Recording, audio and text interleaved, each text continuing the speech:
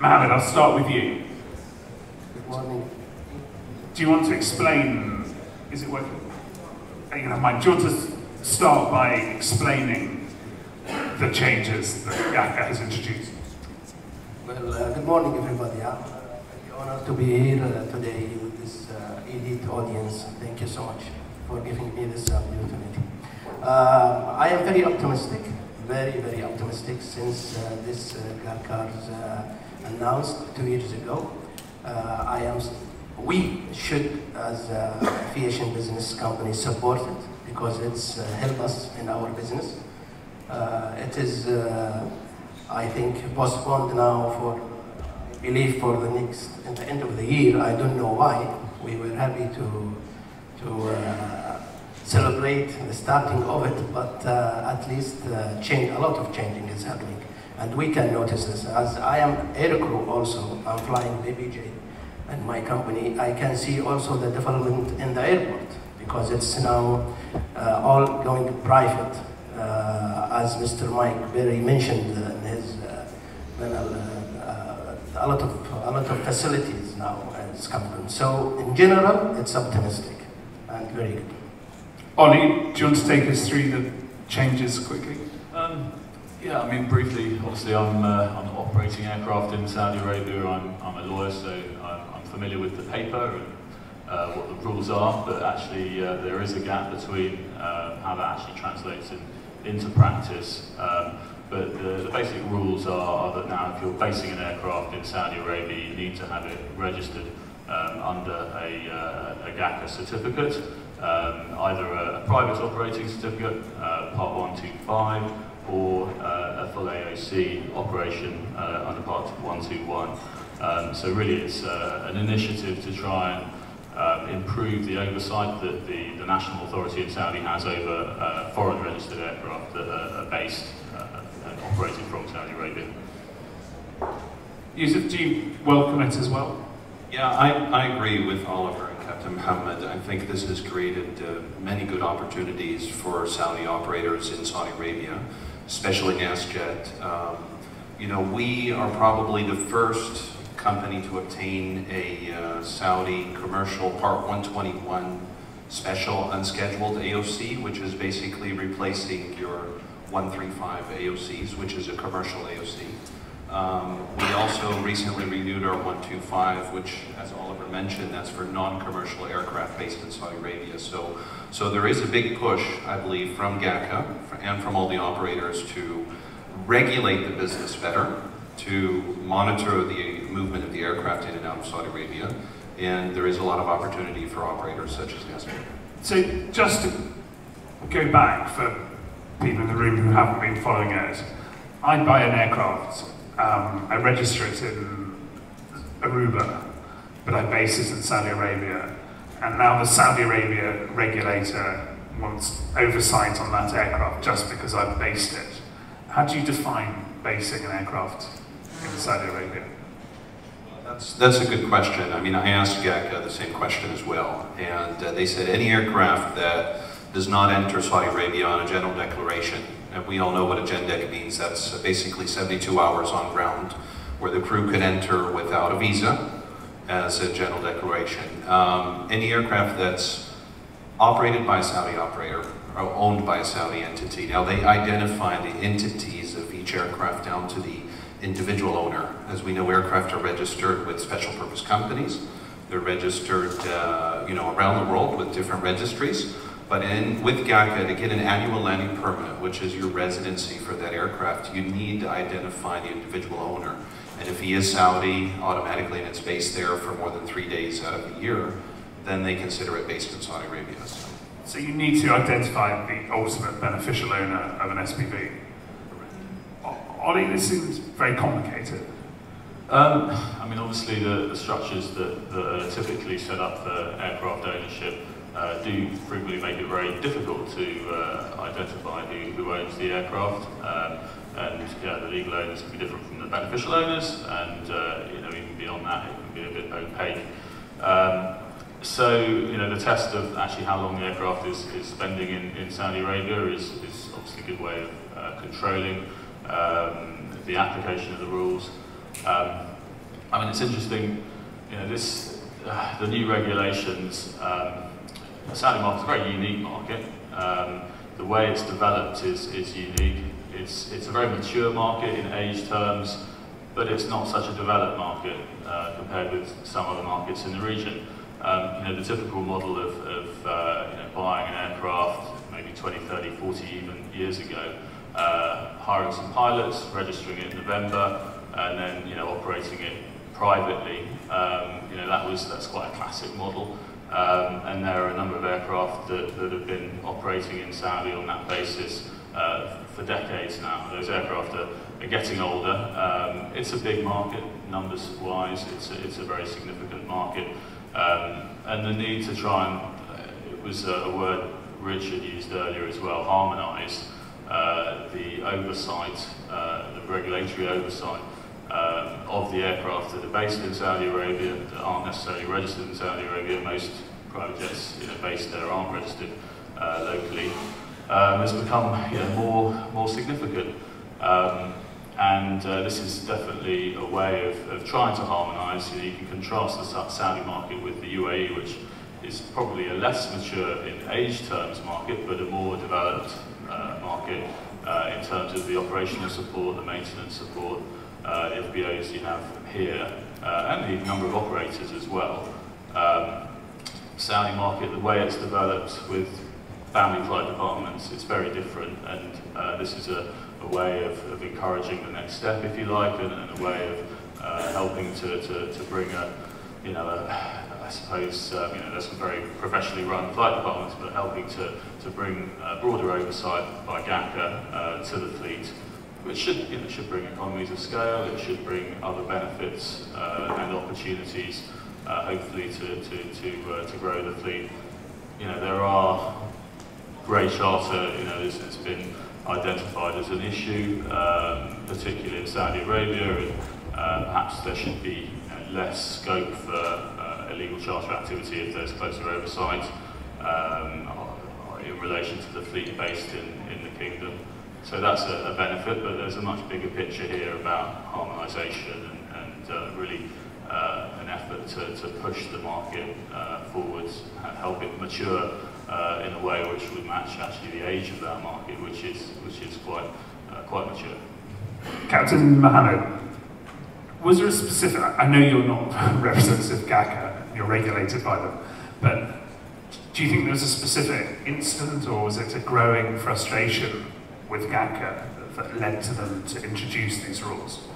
You know, what was the trigger? I think a uh, long time GACA did not revise their rules and regulations for a long time. Uh, since I think 2015, they start uh, to, uh, to uh, reshape their rules and regulation and we uh, noticed that even in the documentations. now before we were sending a file to get the pilot license and the aircraft uh, certificate, now it's online. It became online in, in, in, the company, in the headquarters, we do it online. Uh, also, I think uh, maybe this, uh, uh, you know, the reforms now we are uh, taking place in Saudi Arabia, everybody knows this. we became open market now. what I mean, foreign investor before, could not get any business in Saudi Arabia unless he has a, a Saudi partner. Now, it's not. You, any investor can go and invest in Saudi Arabia. I think also they were expecting uh, the uh, heavy uh, movement of uh, the business jet due to those mega projects announced in Saudi Arabia. NEOM, Red Sea project, uh, south of Riyadh, mentioned city, uh, I think today custodian for the Holy Mosque, King Salman uh, is, is putting the, starting the project. I think they forecast this and they need to, uh, to, to control all this movement because, uh, you know, we were having a lot of uh, aircraft owners. They work individually and they can charter their aircraft, they can do whatever they want. Uh, I think all these reasons behind uh, GACA uh, pushing for toward uh, this uh, regulations. Yeah. can do you want me to answer the question? Go for it. Go for it. The, because I see it's very uh, less percentage of uh, people. You, they can go to the website. It's very clear for I GACA. understand, yeah. Yeah, it's, it's, it's very clear. It's crystal clear in the, in the website, the website. yeah. I think that was at the start of the session before you guys started talking, I hope. Uh, Can a non-Saudi operator base and operate a foreign aircraft in Saudi? That's a, that's a very good question. Um, you know, if you, as Captain Muhammad mentioned, um, the rules and regulations are published online. There is a uh, section for Saudi operators, there's a section for non-Saudi operators in the rules and regulations which apply to them. The Saudi operators that are based in Saudi Arabia um, for commercial operation follow 121 special and scheduled, which is 135. We also follow 125 for non-commercial aircraft.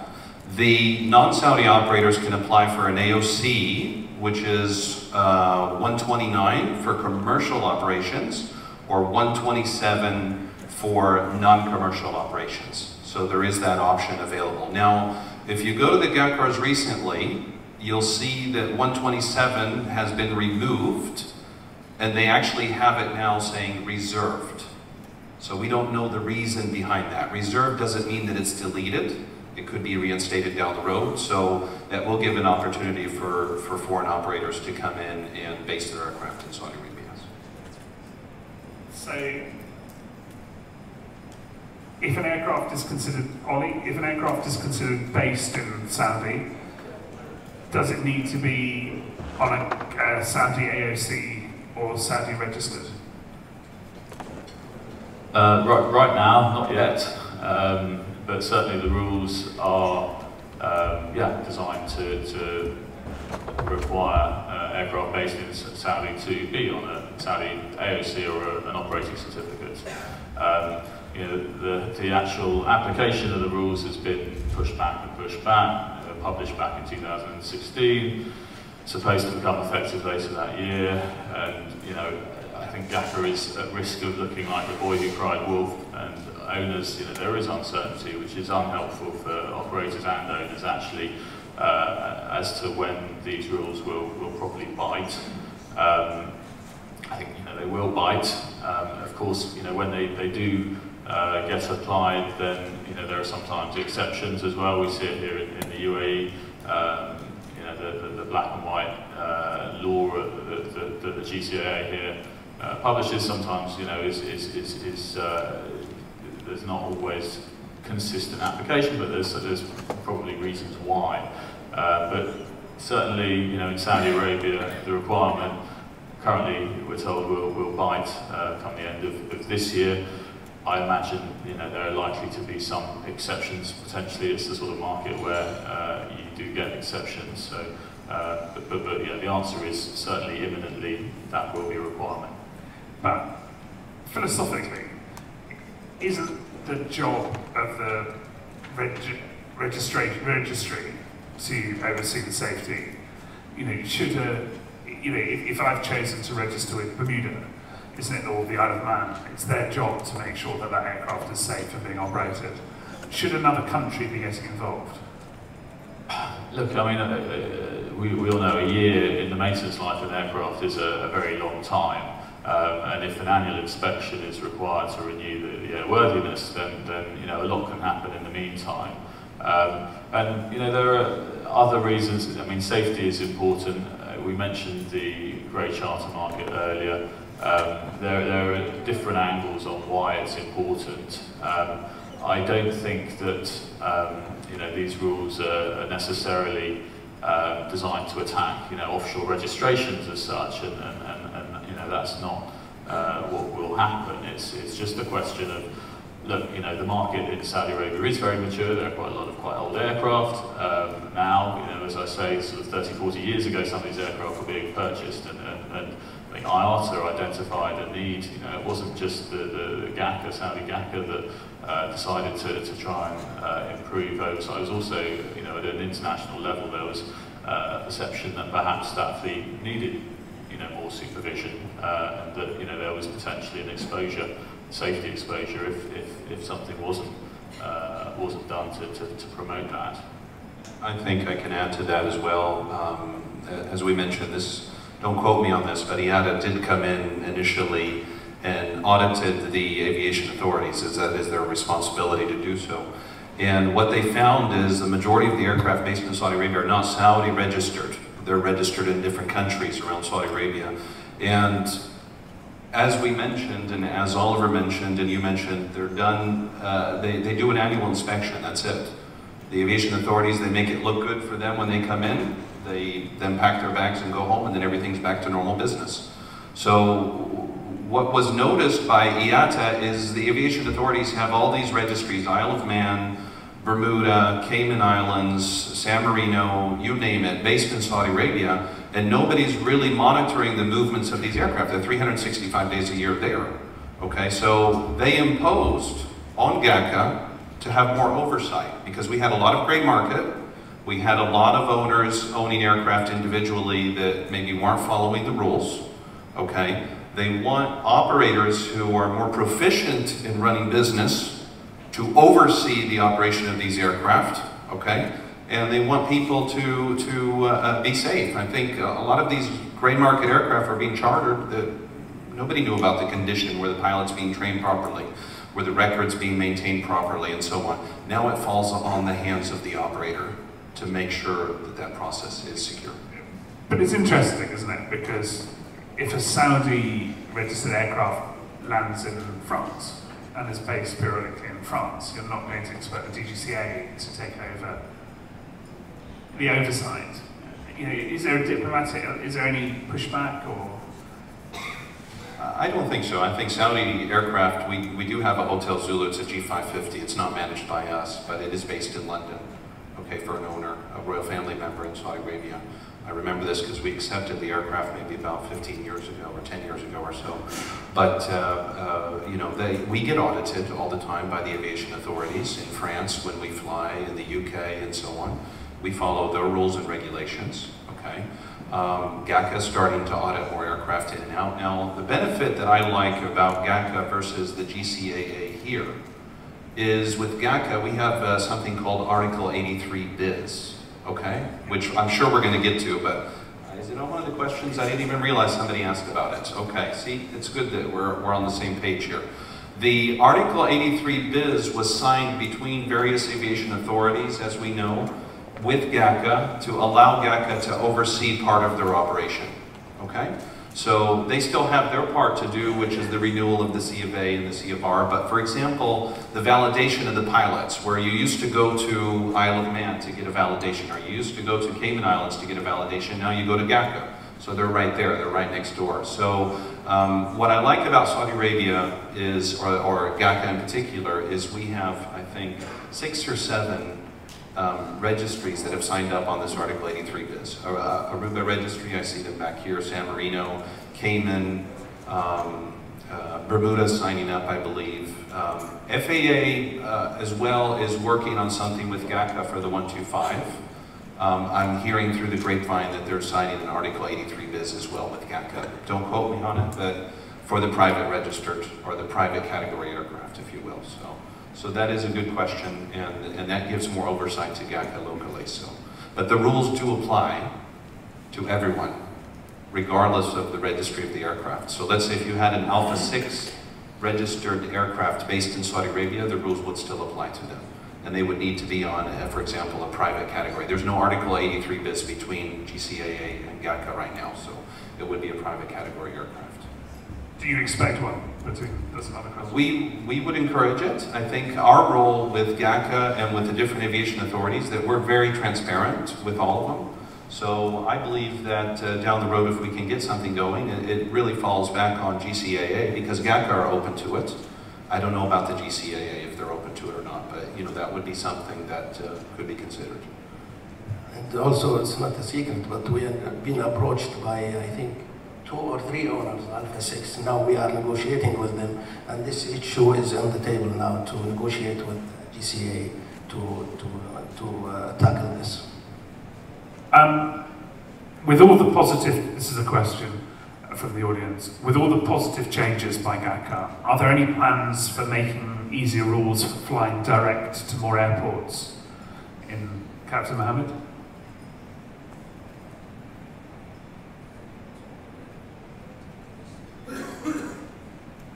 I don't encourage this because I'm going to lose business, but uh, I will support GACA to prevent this. Um, does anyone want to comment on the citizen requirements for You mean by flying direct to more airports? I think it's, it going to, is, D- GACA going to make it easier to fly into? I mean, it, it, all it depends on is their uh, customs immigration at that airport if it's arriving from an international destination. I mean, I don't see them imposing any restrictions on that. So I, I understand the question. It's operating domestic flight, private. Does anyone want to ask that question?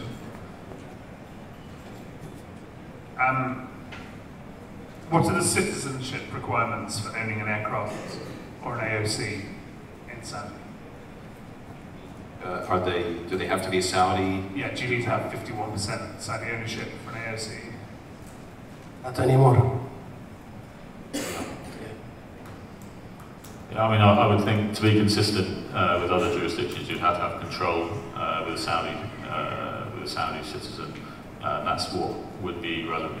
Uh, that would be the case in other jurisdictions. So I'd expect it to be a requirement for Saudi control. I, I, I'm, I'll be in the middle between both answers. I mean, uh, I believe that in the past, yes, but not anymore, as Captain Mohammed mentioned, that Saudi Arabia is trying to open up and, you know, with uh, uh, our Crown Prince at the moment, you've seen his activity recently, you know, that they're trying to make a lot of change in Saudi Arabia, more change than what we can keep up with. But it's all positive change, in my opinion, and we're going to see a lot of uh, opportunities for foreign investors. That's his um, uh, slogan, if you will. He wants foreign investors to come in. So that, that rule will be eased, if you will, down the road. And do you know of any plans to develop maintenance capabilities, business jet maintenance in Saudi? No. Um, I, I mean, there are some maintenance facilities at the moment, but I think a lot of uh, pilots, they prefer to come into Dubai because they have more freedom. They can get a drink. They can enjoy life. I mean, there's a lot more activities in Dubai, as we know about. I mean, Saudi Arabia is, is nice. I mean, there are some MROs there. There, there is El Salam in Riyadh. There is Saudi aerospace engineering that we've used in Jeddah before on our Gulfstreams. Um, Arabasco had a hangar uh, there previously, but it's, it's currently just on hold at the moment. So, I mean, there is opportunities, I believe. And somebody mentioned in the previous panel discussion about uh, hangarage. Yes, that is a big concern for a lot of our owners, that if we could find an investor, and I think that's what GACA is looking for right now, to invest in hangars, are people who can build hangars and maintain them. I think that will be the success down the road. So that's one thing we are missing. So. Ollie, do you see this spreading?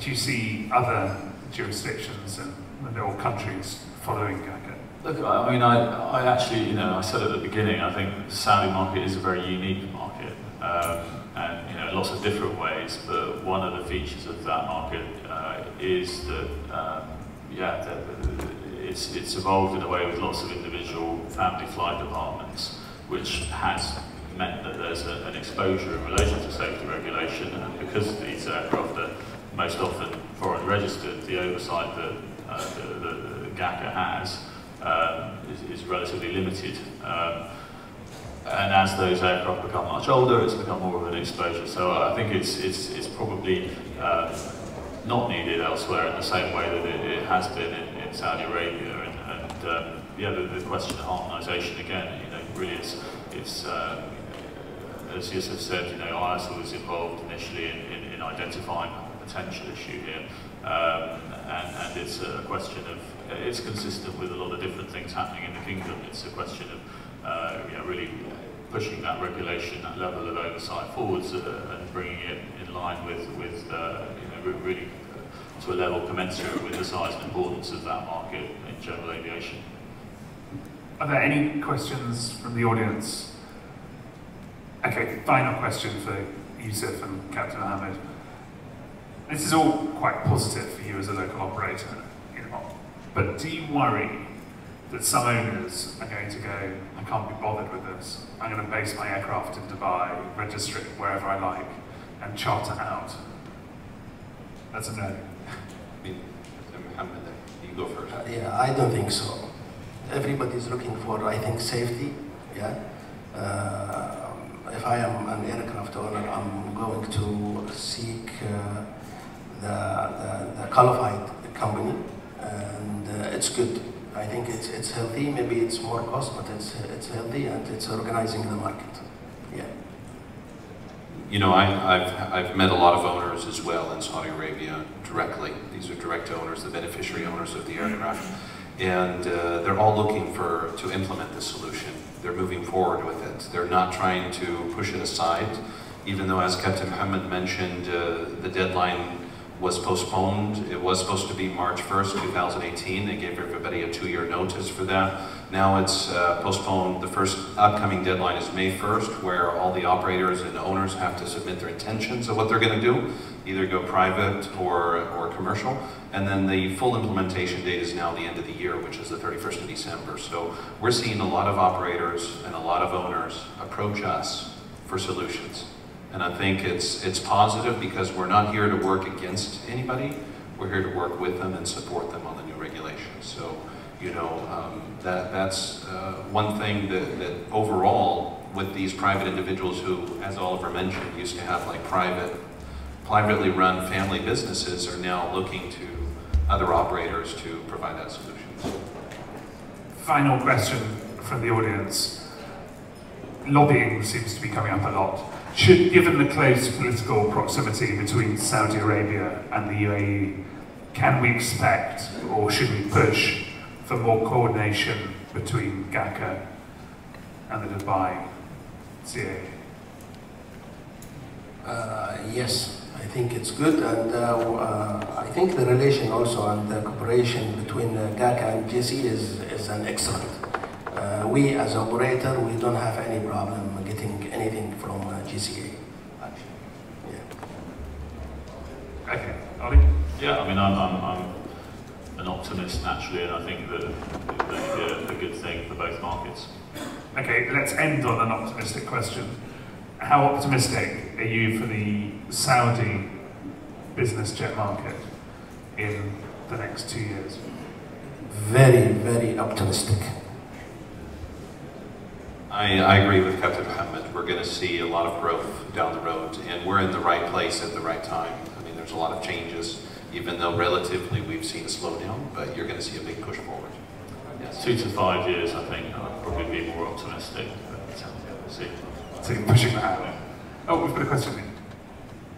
Yeah, it's uh, Wasim from Bombardier. That was a very useful uh, uh, discussion, and, but we didn't highlight an important part of this is Saudi Arabia is a, probably in the Gulf GCC 50% of the business.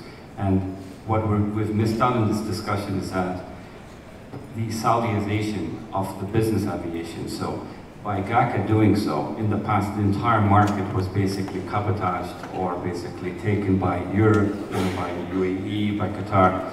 So the charter business was completely given out for non-Saudi operators. Actually, the Saudi operators were non-existent. I mean, you had NAS living on, you know, government projects, you had SWA, and maybe one more. So what we're seeing now is that this is opening uh, an opportunity for newcomers, for you know, new operators in Saudi to come out and be able to make some money. And not only that is the operational cost for any aircraft owner, owner in Saudi was extremely high because you're getting foreign pilots, rotation, nobody wants to live there. Now we're seeing, so opportunity for small aircraft owners, Learjet citations being, was non-existent because you know your fixed cost is going to be like a million dollars.